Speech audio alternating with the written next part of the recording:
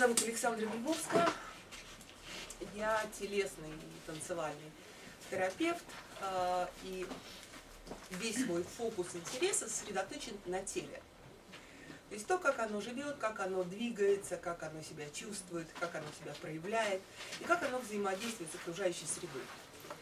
И, соответственно, а, самые разные темы я вижу через призму телесности, через то, как наше тело ведет себя в разных обстоятельствах, как оно реагирует на разные психологические обстоятельства, социальное окружение и в данном случае среду. Собственно, речь пойдет о том, а, как мы приспосабливаемся реально а, к той окружающей среде, которая вокруг нас существует в городе, как город, его устройство, его разные детали, которые есть вокруг нас в городе, влияют на наше тело, влияют на наше э, самоощущение и, может быть, отчасти на э, те способы, с которым- которые- э, которыми мы общаемся с другими людьми или как мы решаем различные проблемы. И э, то, как город э, влияет отчасти на наше здоровье. Да, потому что наше тело это все-таки вопрос здоровья. И э, само название город как Тулку пришло э, мне в голову примерно года полтора назад, после того, как я познакомилась э, с одним довольно любопытным исследованием, которое провели э, немецкие э, специалисты в области исследования мозга. И э, я сейчас просто хочу вам показать, э, что же происходит э, со- э, вот в этих стрессовых ситуациях и э, каким образом э, мы вообще, э, как люди, реагируем на стрессовую ситуацию.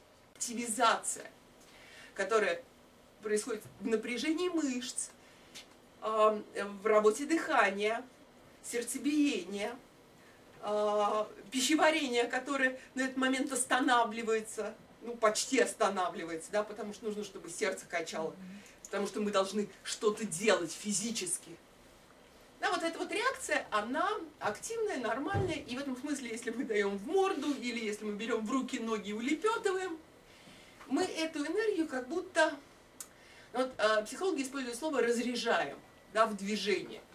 То есть мы как будто как конденсатор мы ее набираем, и через движение, значит, вот отдаем. Когда мы замираем, этой разрядки не происходит. То есть это такая остановленная реакция. Да, и а, это та реакция, вот остановленная реакция, остановленное движение в теле оста- остается вот этой повышенной, повышенным уровнем энергии. И мы с ним ходим. И мы его удерживаем. Да, а коль скоро мы его удерживаем, я вернусь. Да, то есть мы все время находимся в этом активном состоянии. Мы незаметно для себя приходим в это место. Может быть, не совсем умирая, но существенно э, лишая себя сил. Да, и это такой неприятный факт. Да? Сравните свое ощущение от предыдущих картинок и, и от этой фотографии. Да явно больше динамики. М? Динамики больше. Динамики больше. Мгм. Что можно сказать о напряжении? Напряжение тоже больше. И когда вокруг нас много напряженных или злобных или сказать, зажатых людей, мы как-то вот тоже становимся такими. Что происходит для москвичей? Очень характерно да, вот нап- напряженная часть, идущая вперед. Да, мы как будто все время немножко сворачиваемся.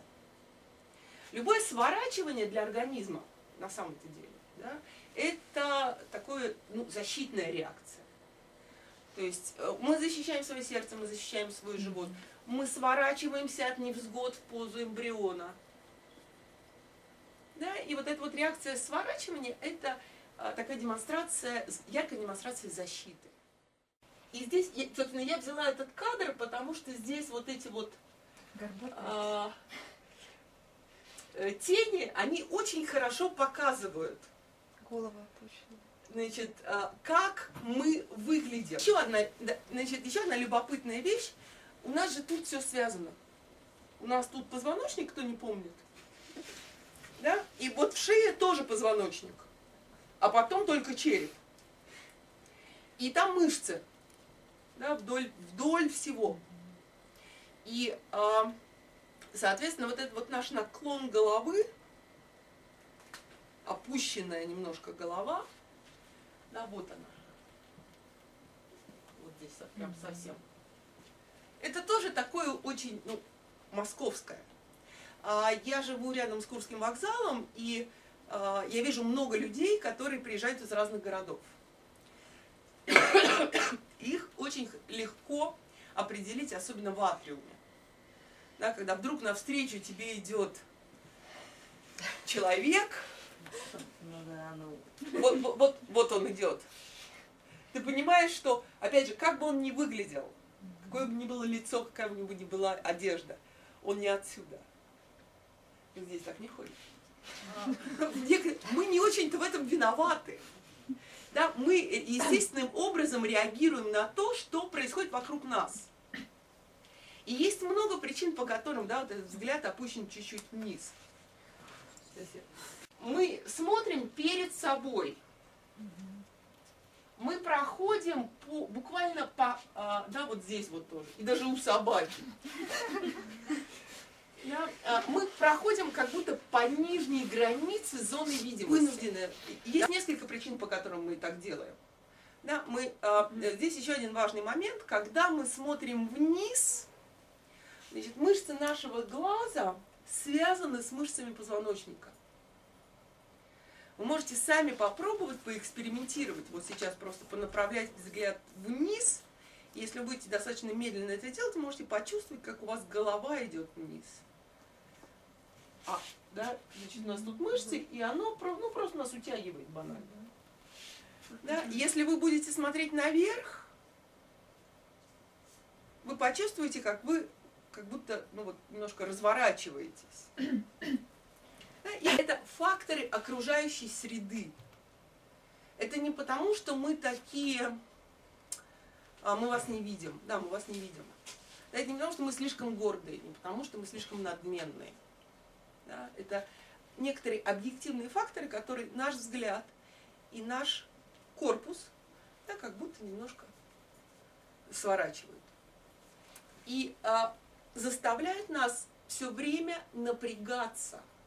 Напрягаться физически, напрягаться мышечно.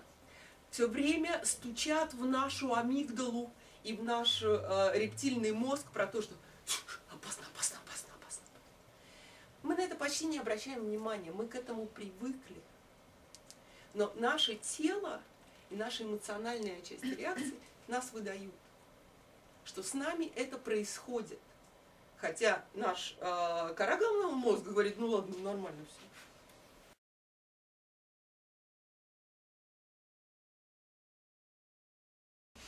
Видно, да? А, такие физические, материальные, реально существующие вокруг нас, которые формируют вот эту вот нашу реакцию, защитную, оборонительную или такую очень, э, как будто мы прячемся, замерли, которые формируют наше э, тело, которые формируют наш способ двигаться, которые формируют наше направление взгляда, и которые в результате приводят к тому, э, как мы вступаем в взаимоотношения с другими людьми, например. Да, это к вопросу о том, замечают ли мужчины женщин в Москве или нет. Под ногами женщин не валяется. Извините, да. Ну, так и женщины, и мужчин тоже как-то. Да, то есть, э, да, каким образом мы э, э, начинаем разговор с незнакомым человеком, да, и что для этого нужно, что нужно преодолеть в себе, чтобы, например, почему мы так любим супермар- супермаркеты? Нам не нужно просить, нам не нужно разговаривать. Мы хотя бы там защищены от общения. Да, это все объективные факторы. Значит, а, что касается физической среды, что у нас есть? Значит, а, организация навигации. Навигация в смысле а, способов движения нас в пространстве улиц или метро или чего-то еще. Да, вот то, как мы ходим. А, Организация а, пространства, а, насколько оно свободно, насколько оно структурировано, насколько или не структурировано, насколько оно хаотично. Да, вот как оно организовано. Э, Соответственно, условия, ну вот визуальные, что мы видим. Когда вот мы этот взгляд опускаем, что мы видим? А если мы его поднимем, что мы увидим? И что с нами будет при этом? Да, и что мы замечаем, и что мы не замечаем. А В том числе визуальные, а еще какие? А, есть простые вещи, да, а, есть климатические условия, микроклиматические. Дует на этой улице или нет? А, можно ли здесь защититься от дождя, от солнца, от ветра? Да, вы приезжаете, я когда приехала в Одессу, я в какой-то момент пришла в абсолютный восторг, поняв, что когда-то очень давно люди, которые строили этот город, и которые посадили все эти огромные деревья, которые смыкаются над улицами и создают тень, когда безумная влажность и плюс 35. Я испытывала огромную благодарность к этим людям. Это детали, да, но они оказываются э, чрезвычайно важны. И это тоже условия, А у нас тополя. как- и которых уже почти нет. Да. Ну, даже все вырубили. Вырубили сирень вокруг Большого театра, потом походите, там весь округ. Да, то есть, ну, это все взаимосвязано. А, ориентация в пространстве связана э, вот с, с какой вещью. Я сейчас буду показывать картинки, как бы все демонстрирующие. Ориентация в пространстве связана с тем, насколько мы... а, значит, когда мы не можем сориентироваться, когда мы потерялись. Вы когда-нибудь терялись где-нибудь? Да. А, это приятная, безопасная ситуация. Это ситуация стрессовая. Да, значит, и в зависимости от того, насколько хорошо мы способны сориентироваться в окружающей среде, физически в том числе, зависит от того, насколько мы спокойны или насколько в стрессовой ситуации мы оказались. А, виды деятельности, что в этом городе можно, к чему этот город располагает, а к чему нет. Да, и поэтому это такая важная.